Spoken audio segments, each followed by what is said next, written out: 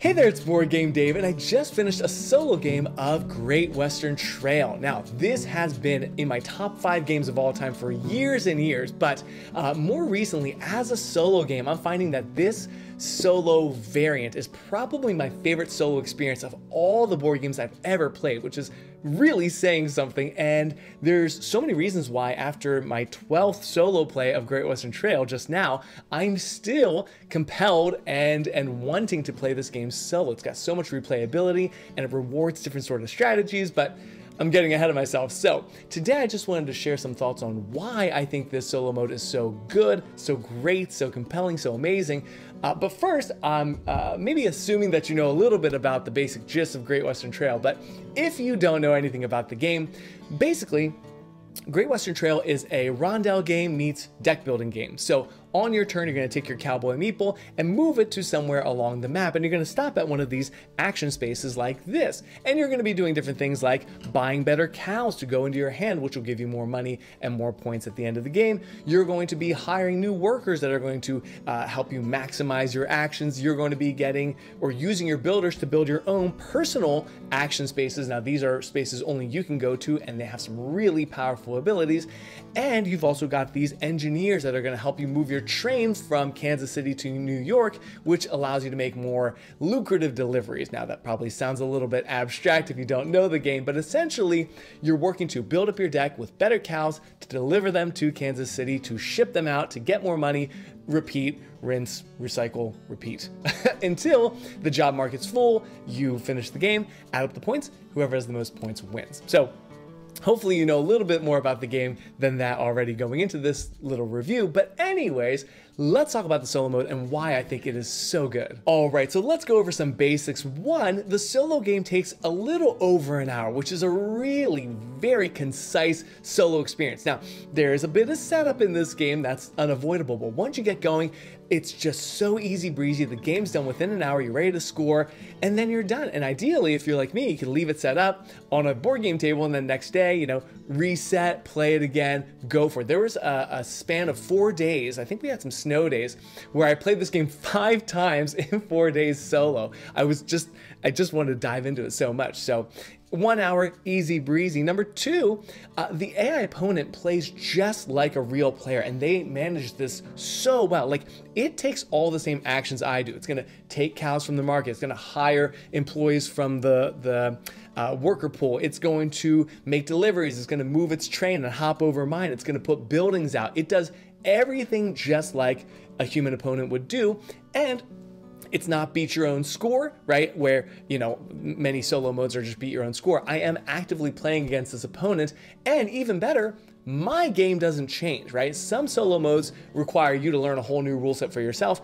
I just play my game like normal, and then Sam takes his turns. Number three, the solo mode is super easy to manage. So on Sam, the AI's turn, you just flip a card and do what it says. That's it. It's so simple, and I'm finding that this is my favorite kind of solo mode where the solo AI has a deck, you flip a card, and you resolve it. And some of Sam's turns literally only take a few seconds. You move Sam in this case, and unless his specialty is the carpenter, the builder, you don't do anything. So he just moves, turns over. It's so easy. Fourth, I really appreciate how the solo mode includes different, meaningful, and interesting difficulty levels. So basically there's the easy, medium, and hard difficulty modes. In easy, you're gonna remove some of the more challenging solo cards. On hard, you're gonna add one worker of each type, but more than that, you can further refine the difficulty level by deciding uh, where Sam gets to put his first delivery. So the closer to New York, the harder he is, the closer to Kansas City, the easier it is. So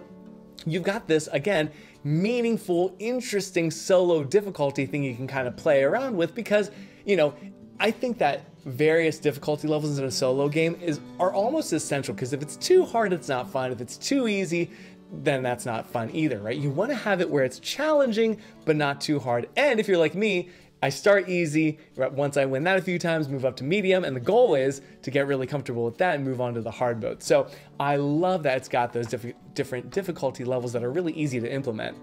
Fifth, I really like how Sam, the AI, organically develops throughout the course of the game, kind of like the human player. So there's a nice engine building element in this game where you've got better value cows that let you get more points or get more money as you get to Kansas City. You're going to be putting out better and better buildings, so you've got stronger actions. You're going to be unlocking more steps you can take per turn. So by default, your meeple can only move three spaces, but by the end, you can move up to five. So uh, in all those different ways, Sam also organically, right, like a human player, is going to be developing to move more spaces per turn, to buy stronger buildings per turn, to buy better cows, right? So it's kind of uh, developing just like you are. And I love that because not all solo AIs do that. Sometimes they're just very static, right?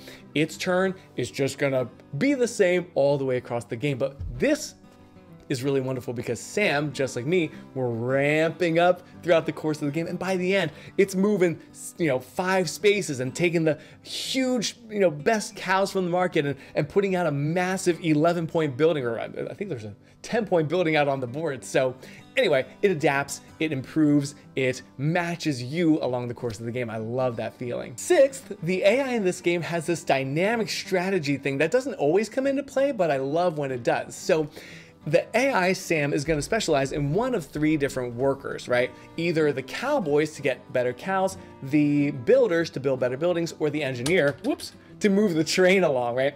And it's gonna start by specializing in one of those three things.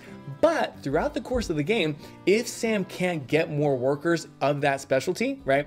And let's say at some point he gets more engineers than builders, he's gonna switch specialties over to the engineer. So I love that Sam is able to pivot if things aren't going very well he'll pivot to a whole different strategy. And I find that is so interesting and compelling, and again, very human of Sam to do that. Seventh, and related to that, Sam's actions are somewhat uh, predictable slash outmaneuverable, but it's not at all scripted. So on a macro sense, I might be able to see what Sam's strategy is, let's say builders, right? And if I see more builders in the worker pool, right, I'm gonna snatch those up. So maybe he has to pivot or just not be able to, you know, totally go ham on builders and build some of his most expensive point getting buildings, right? So if you zoom out a little bit and focus on what Sam's trying to do, it is possible to kind of thwart his actions, but again, it's not scripted like Concordia, for example, right, where you are determining what Sam's going to do. You've got this whole deck and you know the possibilities of what he's going to do, but you never know exactly what's going to come up. And that can lead to some really interesting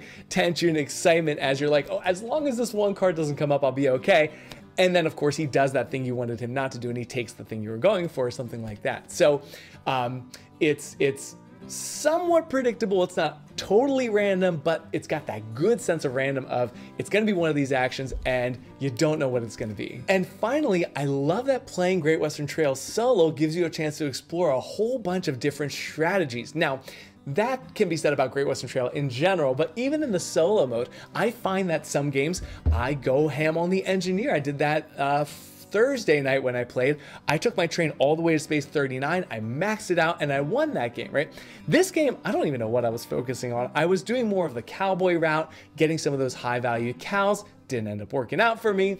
Uh, of course, you can work on the builder strategy, which I think is the most interesting and versatile game uh, strategy because the buildings are always different. But maybe you're going to uh, try to get this 20 point building out, right? And you want to see how that goes. Uh, this game, I included the Simmental cows. These are the orange cows. It's a little mini variant included in the second edition. So I was kind of playing with that and discovering how those work. So there's so many different avenues and strategies to try. And I find that it keeps me coming back to the game because I'm like, oh, maybe next game I'll try the builder strategy, or maybe I need to pivot or detour based on what Sam's doing because his strategy is always going to be different as well. So it's very replayable, it's very rewarding. It lets you, you know, uh, again, this game is such a sandboxy sort of game where there's so many different strategies to try, and I like that the solo mode gives me an excuse to try a whole bunch of different strategies out. And there you have it. Those are my eight reasons why I love the solo mode for Great Western Trail, why I think it is my number one solo game at the present moment. Now, for the longest time, for years, it was a feast for Odin. Now, I'll be honest, I haven't played that game solo in quite some time. I've been playing it on BGA a little bit recently, multiplayer, but you know, with the setup, with how big of a game it is, it just doesn't get to the table very often. Whereas Great Western Trail is a little bit more uh, feasible, a little bit more manageable as far as you know the space and the the number of fiddly bits to set up. Uh, also, Another game I was really, really into was Legacy of Yu. I made a whole video about it and why that was, for a time, my favorite solo game. I just wanted to keep playing this game. It was so quick, it was so breezy, it was great narrative, it was very, uh, you know, the campaign, the discovery was really interesting. But I think at this point, you know, now that I finished the Legacy of Yu campaign, we're back to Great Western Trail as my favorite solo game of all time. I I just I love this game so much, and I've been playing it constantly. I played it a whole bunch in January. I played it, uh, you know, earlier this week, and I'm playing it again. So, anyway, Great Western Trail, an absolutely amazing game. If you would like to hear about some of my more favorite uh, solo games, I'll have a video right here, although it's a little bit dated from 2022, but you can check that out. If you want to know about uh, Legacy of Yu, you can check this video right here. But of course, you can go find all kinds of other videos of me talking about oh, all kinds of other games. So I'll leave you to it. In the meantime, everybody, have a wonderful week. Take care and happy gaming. Bye.